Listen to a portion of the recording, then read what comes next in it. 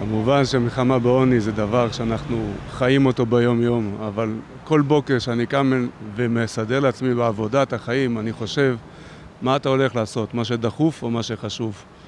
לצערנו היום יותר דחוף לטפל בחמאס. אנחנו בחרנו את שר האוצר על פי ההתחייבות שלו לשים את המיליונים בעוני.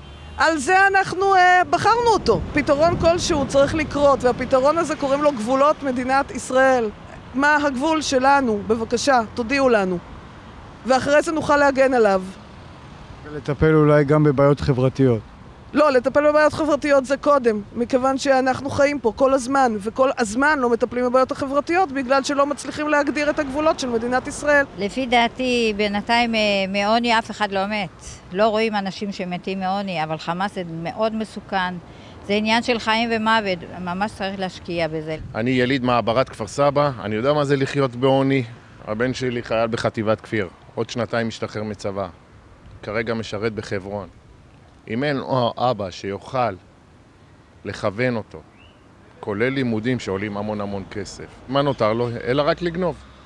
אני חושב שהייתי מנסה כמה שיותר לתמרן בין שתי המצוקות שיש פה במדינה.